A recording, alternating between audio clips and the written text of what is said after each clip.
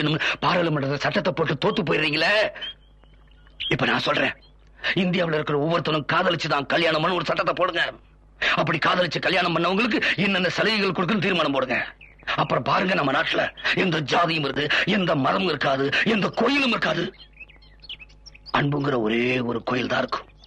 அதுல மனுஷங்கிற ஒரே மதம் தான் இருக்கும். ரொம்ப நல்லா பேசுறீங்க. அரசியலுக்கு அஸ்திவாரம் போடுறீங்களா? காதலுக்கு